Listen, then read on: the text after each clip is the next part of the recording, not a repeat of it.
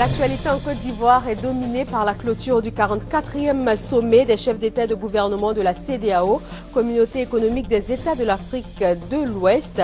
La mesure principale qui en ressort, c'est la succession du président Alassane Ouattara.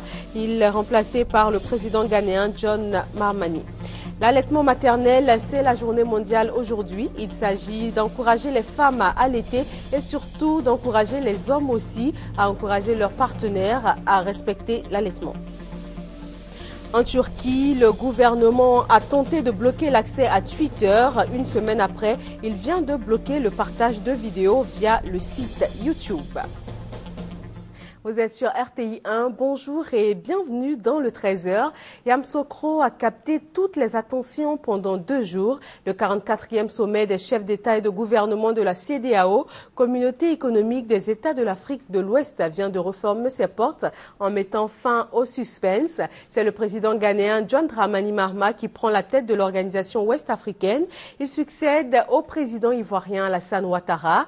La signature du traité de l'autoroute Abidjan-Lagos a également été l'un des points forts de cette cérémonie de clôture. Et je vous le disais, le président Alassane Ouattara a donc cédé la tête de la CDAO à son homologue ghanéen John Mamani Dramani. Nouveau président de l'institution, Alassane Ouattara a assuré son successeur de son soutien pour les challenges et réussites à venir. Monsieur le Président, chers frères, chers amis, vos homologues viennent ainsi de vous témoigner leur reconnaissance pour vos compétences et votre dévouement aux idéaux de notre communauté. Je voudrais vous assurer de notre soutien total et je souhaite que votre mandat soit fructueux pour notre région. Je suis convaincu que sous votre présidence, la CDAO se renforcera davantage pour atteindre notre objectif de CDAO des peuples. Vous pouvez compter sur notre disponibilité dans l'accomplissement de votre mandat qui, j'en suis convaincu, nous permettra de franchir une nouvelle étape dans le processus d'intégration politique, économique et sécuritaire de notre région.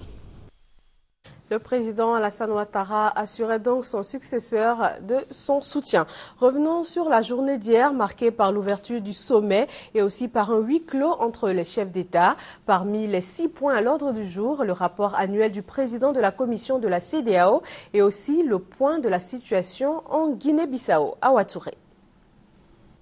Les 14 chefs d'État et de gouvernement présents à Yamsoukro, la capitale politique et administrative de la Côte d'Ivoire, à l'issue de la cérémonie d'ouverture de ce 44e sommet de la CDAO, se sont retrouvés pour une séance à huis clos. Séance consacrée à l'examen de la situation au Mali et en Guinée-Bissau, avec la présentation par le médiateur de la CDAO, Blaise Compaoré, d'un rapport sur le Mali et le point sur la situation actuelle en Guinée-Bissau par le président du groupe de contact régional, Goodluck Jonathan. Également au cœur des travaux à huis clos, le projet d'accord de partenariat entre la CDAO et l'Union européenne. Les rapports du président de la commission de la CDAO, Cadre Désiré Oudraogo, du Conseil des ministres de la CDAO et de la réunion du Conseil de médiation et de sécurité.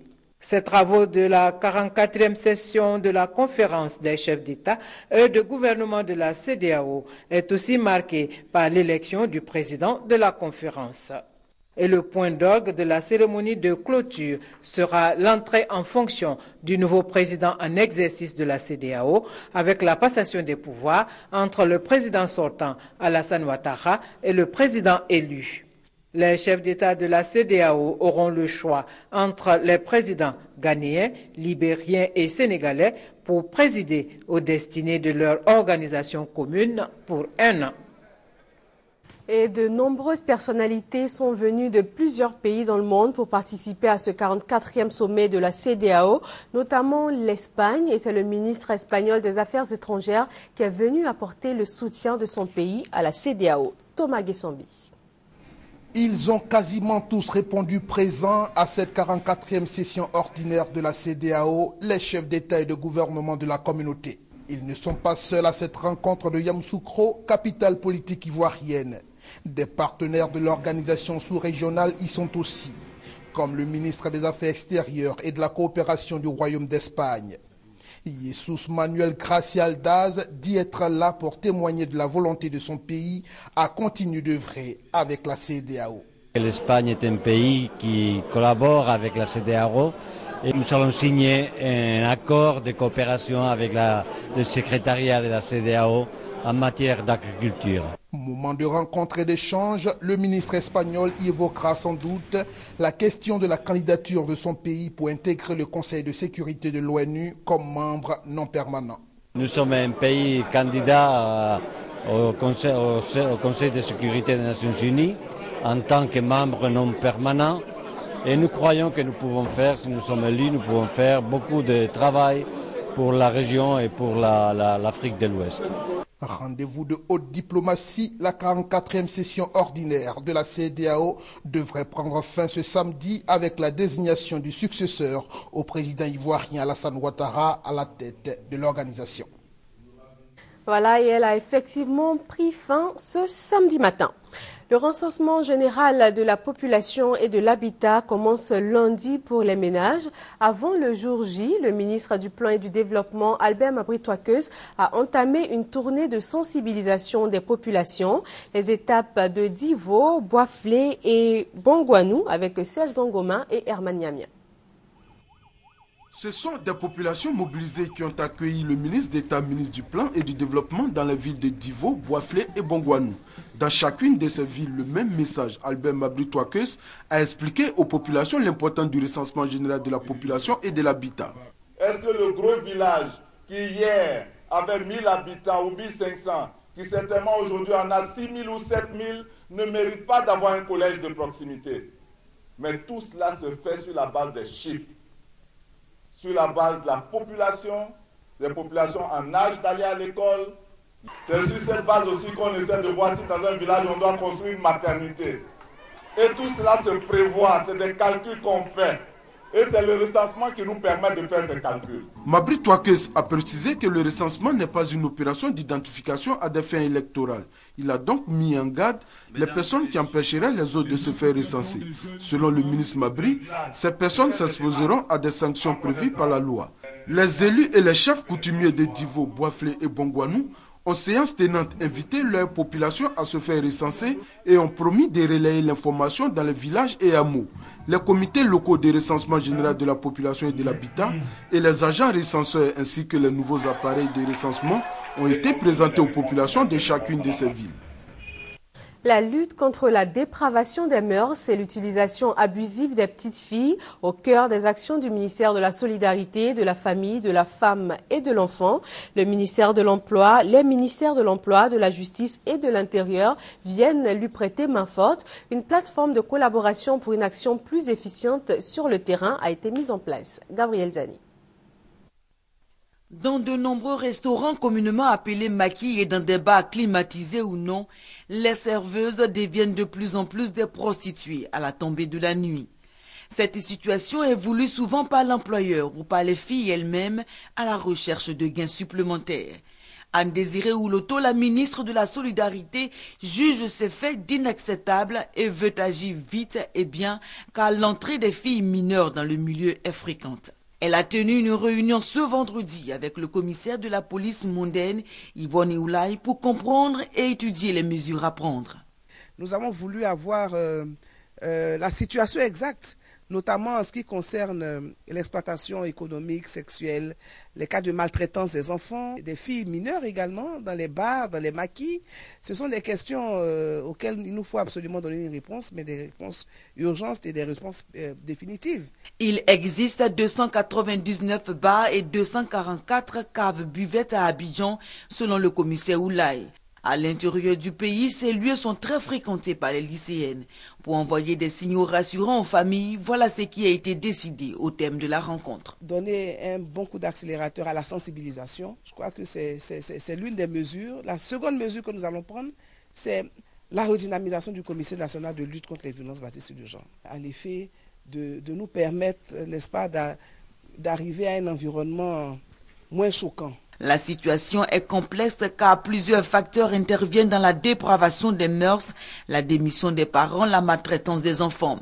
C'est en cela que la ministre avait mis sur pied le 3 mars 2014 le Conseil national de la famille. Cette réunion de ce vendredi vient d'inaugurer une série d'actions visant à moraliser la vie publique. Vous le savez, une épidémie de fièvre Ebola sévit en Guinée depuis plusieurs jours. La maladie a même atteint la capitale Conakry. Selon les derniers bilans, 63 personnes sont mortes de cette maladie. Mais ces derniers jours, des rumeurs de plus en plus persistantes font cas de nouvelles euh, maladie en Côte d'Ivoire. Il s'agit bien sûr de la fièvre Ebola. Il s'agit de tout le pleu. Nous recevons même des messages disant qu'un cas a été découvert à tout. Eh bien, nous sommes en direct par téléphone avec le préfet de tout le pleu, Monsieur Abdul Karim Diarra. Bonjour, Monsieur Diarra. Allô?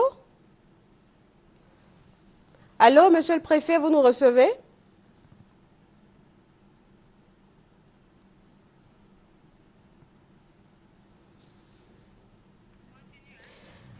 Eh bien, nous avons des soucis techniques. Nous reviendrons à ce message du préfet de tout le pleu. En attendant, la journée mondiale de l'allaitement, c'est aujourd'hui 29 mars. Une invite pour les femmes à pratiquer l'allaitement et pour les hommes à les soutenir dans ce choix. Armand Niamien revient sur les avantages de l'allaitement maternel.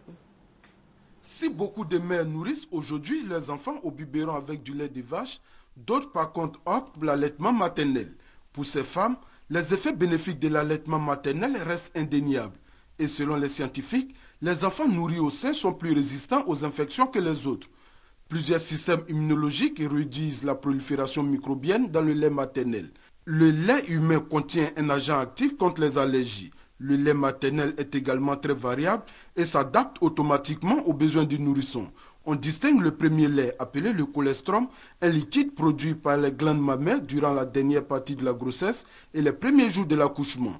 Le liquide est extrêmement riche en substances nécessaires au nourrisson, notamment en protéines, mais aussi en anticorps permettant la défense de l'organisme du bébé. Sa production s'arrête en général vers le troisième jour de l'accouchement et le colestrum est peu à peu remplacé par le lait maternel, chose qu'aucun lait industriel ne peut faire. En somme, le lait maternel lie la mère à l'enfant. Un forum pour l'état de droit et la lutte contre l'impunité créé par des jeunes Ivoiriens. Ils entendent ainsi apporter leur contribution dans le combat de la justice et aussi dans le combat pour le respect des droits de l'homme dans le pays afin d'aller à une réconciliation vraie et durable. Doigt de laser. Une nouvelle organisation de défense des droits de l'homme en Côte d'Ivoire vient de voir le jour. Elle se nomme Forum pour l'état de droit FED et a pour mission, selon les initiateurs, de lutter contre l'impunité, la corruption et l'enrichissement illicite des citoyens et acteurs politiques en Côte d'Ivoire. Lutter pour que notre pays devienne un état de droit. C'est la seule chose qui peut permettre à la Côte d'Ivoire de se retrouver elle-même, de se développer dans la sérénité, de ne plus être un état où nous allons voir des coups d'État. Autre combat du FED, la promotion de la justice pour tous, le droit à la santé et à l'éducation en Côte d'Ivoire. Le Forum pour l'état de droit entend aussi contribuer à la cohésion sociale, gage du développement socio-économique de la nation ivoirienne. Le village de Mbato-Boaké, c'est à Bingerville, vient de recevoir une nouvelle broyeuse de manioc. Il s'agit d'une source de revenus supplémentaires pour les populations défavorisées.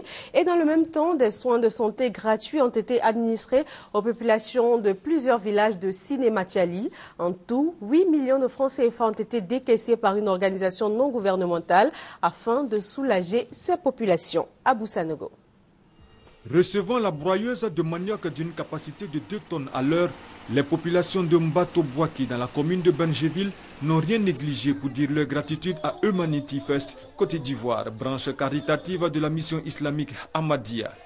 L'activité principale des femmes du village étant la fabrication et la commercialisation de l'ateki. Le chef d'État Nda Ruffin et le sous-préfet de la localité ont signifié aux donateurs l'utilité et le poids du geste qu'ils ont fait avant de leur garantir la bonne exploitation de l'outil reçu. À Lokaha et Ladjokaha, situés à 11 km de Cinématiali, des camps médicaux ont été installés durant deux jours par Humanity Fest Côte d'Ivoire. Ici, femmes, Hommes et enfants sous la direction des médecins Koulibaly Ahmad et Badoum Nizamdine ont bénéficié de consultations et de traitements gratuits de plusieurs maladies, dont le paludisme, la tension artérielle et la cataracte. La RTI et TV5 Monde désormais en partenariat, un partenariat qui fait de TV5 Monde le diffuseur panafricain du programme Interville Côte d'Ivoire produit par la RTI. Herman Yamien pour des précisions sur ce partenariat. À partir de juillet 2014, l'émission Interville produite et diffusée par la RTI sur ses antennes sera vue dans l'ensemble des pays africains. Et c'est à l'initiative de TV5 Monde, la chaîne française des services publics, qui a acheté le programme avec la RTI. Au cours d'un petit déjeuner de presse, le directeur général de TV5 Monde a souligné que des réflexions sont menées avec la RTI pour pérenniser l'émission. Je connais Interville de très longue date, hein, puisque je l'avais produit moi euh, en France euh, sur euh, France 2, donc je connais la puissance de ce programme.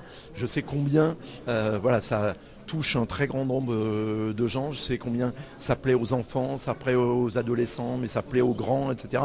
C'est vraiment un programme familial. L'émission Interville sera vue dans 49 pays d'Afrique, ce qui représente une audience d'environ un milliard de téléspectateurs.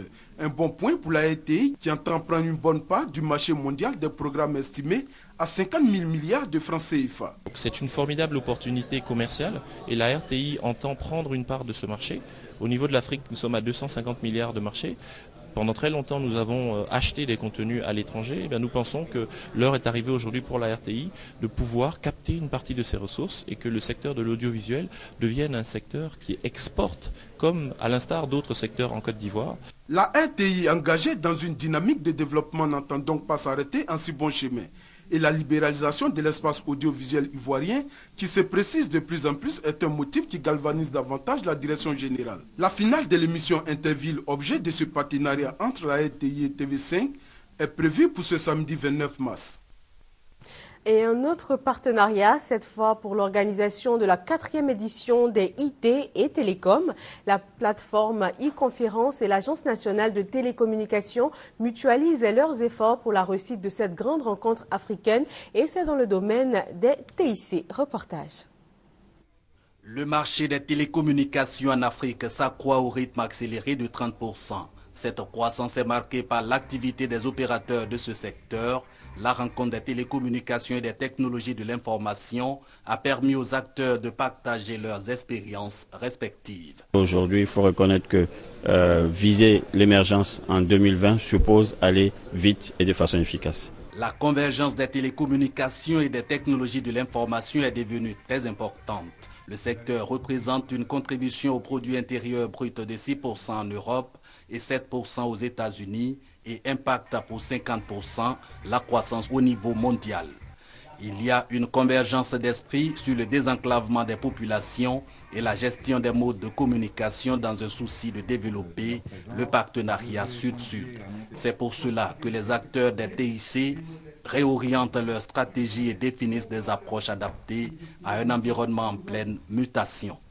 Il est aujourd'hui indéniable que les technologies de l'information et de la communication et la généralisation de leurs usages sont un facteur de développement socio-économique, de compétitivité, de création d'emplois, de diffusion du savoir, d'amélioration de l'offre des services aux populations, etc. Cet événement régional va contribuer à bâtir les piliers d'une économie numérique forte pour réaliser une Afrique émergente. Nous allons à nouveau tenter de joindre le préfet de Tout le Pleu par téléphone. Il s'appelle Abdul Karim Diara. Bonjour, monsieur Diara. Allô? Il me semble que nous l'avons perdu. Eh bien, nous essaierons au cours de ce journal d'y revenir. Des taxes rurales pour contribuer au renforcement des ressources des collectivités territoriales.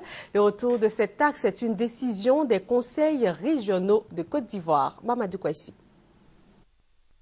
Créés pour le développement local, les conseils régionaux disposent de programmes et projets pour la prise en charge des jeunes et des femmes, et aussi pour le bien-être des populations de leurs différentes régions.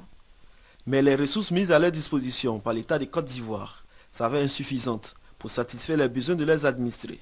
Chaque conseil régional met en place une politique de recouvrement afin d'assurer ses investissements.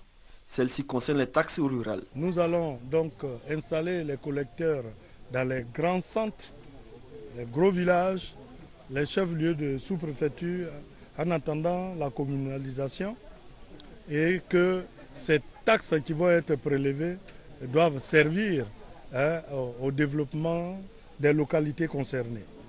Il y avait déjà ces taxes qui existaient, mais la gestion n'a pas été celle qu'il fallait. Selon le président du conseil régional de l'Indéné Djouablé, Abinan Kwaku Pascal, des dispositions sont prises afin d'assurer une bonne gestion de ces ressources financières. Les chefs de village seront consultés pour la nomination de ces collecteurs. Et lorsque nous allons les nommer, il y aura un régisseur qui sera également nommé au niveau de la région pour gérer ces fonds. Et nous allons utiliser ces fonds comme des recettes additionnelles hein, au budget euh, de la région. Il faut rappeler que les attentes des populations vis-à-vis -vis de ces structures décentralisées sont énormes et de telles initiatives pourront véritablement contribuer au développement des différentes régions de Côte d'Ivoire. Le cas de l'Indéné Douablé pourrait servir de modèle. Les productrices de manioc partagent leurs expériences. Une rencontre pour mieux s'approprier les techniques de culture de deux nouvelles variétés de manioc. Elles ont été diffusées par le programme de productivité agricole en Afrique de l'Ouest. Eugène Atoubé. Dans cette plantation de manioc, des femmes assistent à la récolte des tubercules émerveillés par la taille et la quantité du manioc sorti de terre. Nous sommes à Okoyou, un village de Dabou à une trentaine de kilomètres d'Abidjan. Ici, de nouvelles variétés de manioc ont été adoptées par les productrices. Aujourd'hui, leurs parcelles cultivées sont à haut rendement grâce à ces deux nouvelles variétés que sont beaucoup 1 produisant 27 tonnes à l'hectare et beaucoup 2 qui donnent 29 tonnes à l'hectare.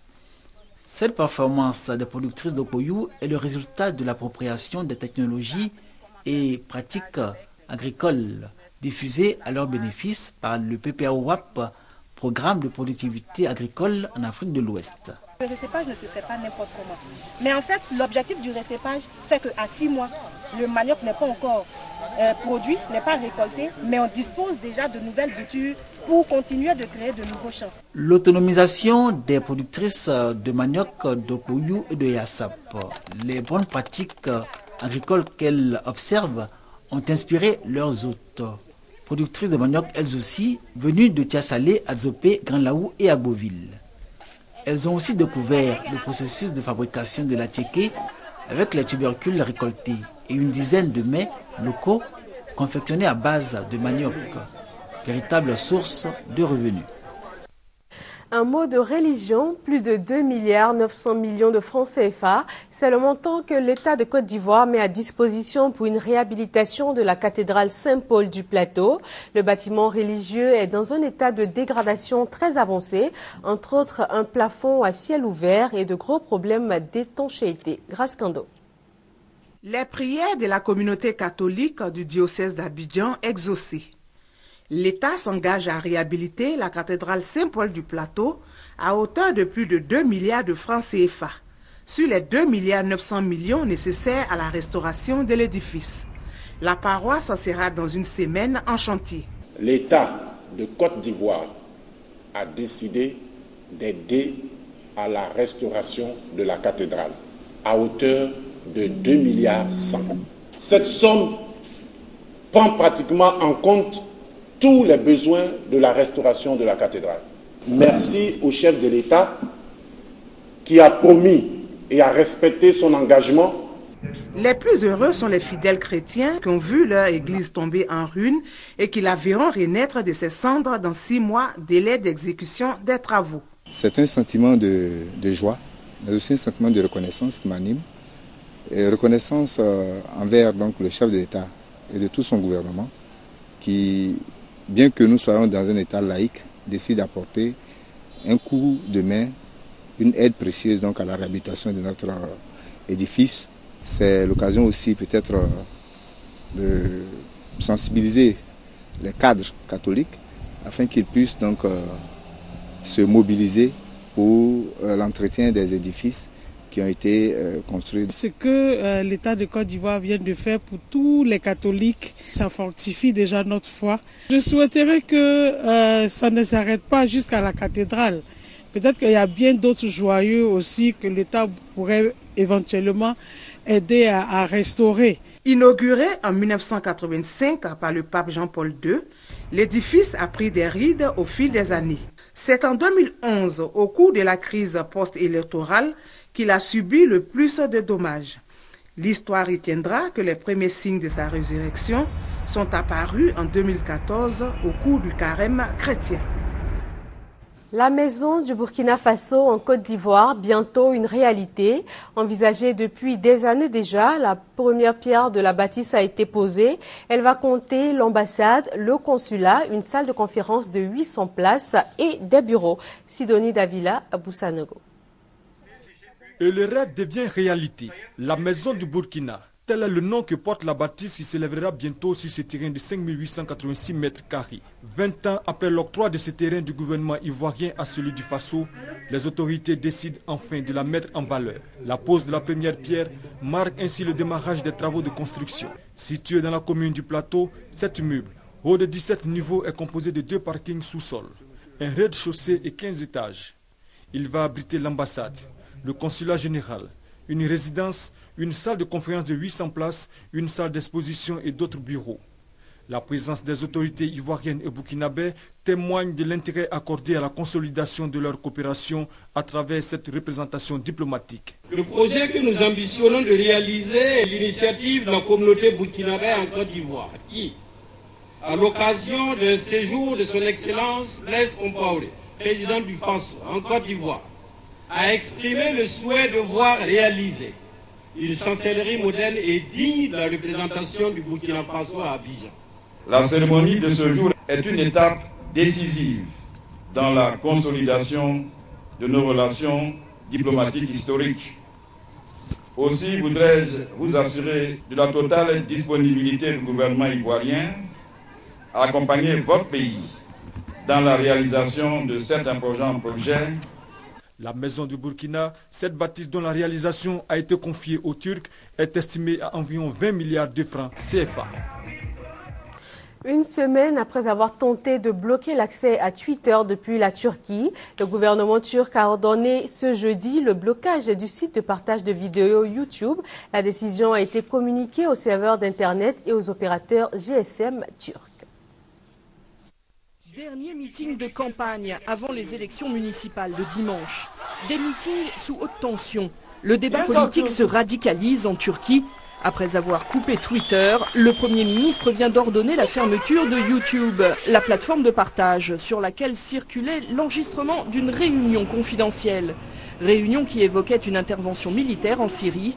De fureur, Recep Tayyip Erdogan en perd sa voix. Il y a une réunion au ministère des Affaires étrangères sur la Syrie et notre sécurité nationale. Ils l'ont mis sur YouTube. C'est ignoble. C'est immoral. Le Premier ministre vise un ancien allié, Fethullah Gulen, installé aux États-Unis. Ce prédicateur musulman organiserait les fuites sur Internet, notamment celles qui accusent depuis trois mois Erdogan et ses proches de corruption le gouvernement fait front. C'est une déclaration de guerre envers la Turquie et le gouvernement turc. Il n'y a pas d'autre mot pour qualifier ça. Après 12 ans de pouvoir, Recep Tayyip Erdogan reste l'homme politique le plus populaire du pays. Mais des voix s'élèvent désormais pour dénoncer son autoritarisme croissant. L'an dernier, un grand mouvement populaire s'était soldé par 8 morts, 8000 blessés et 5000 arrestations. Je me demande jusqu'où ils iront pour limiter notre liberté. D'abord Twitter, maintenant YouTube. Ce sera quoi ensuite? Facebook? Jusqu'où iront-ils? Et quand est-ce que ça s'arrêtera? J'espère qu'ils prendront des décisions raisonnables, mais avec ce gouvernement, ce n'est jamais arrivé. Les municipales de dimanche ont donc valeur de test. L'AKP, le parti d'Erdogan, devrait l'emporter, mais sans son avance habituelle. L'opposition pourrait même prendre la capitale, Ankara. Et rappelons que le 44e sommet des chefs d'État et de gouvernement de la CDAO, Communauté économique des États de l'Afrique de l'Ouest, vient de refermer ses portes.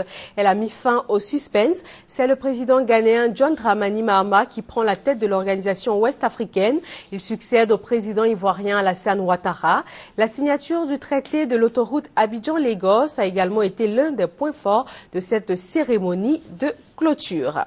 Et puis, nous tenons à nous excuser pour des raisons techniques. Nous n'avons pu avoir en direct le préfet de tout mais il tient à rassurer les populations. Aucun cas de fièvre Ebola n'a été détecté dans sa localité, comme en fait état une rumeur de plus en plus persistante. Cependant, les populations sont invitées au strict respect des consignes de sécurité. Et voilà qui met fin à ce 13h. Merci d'être resté avec nous. Très bon week-end sur RTI 1.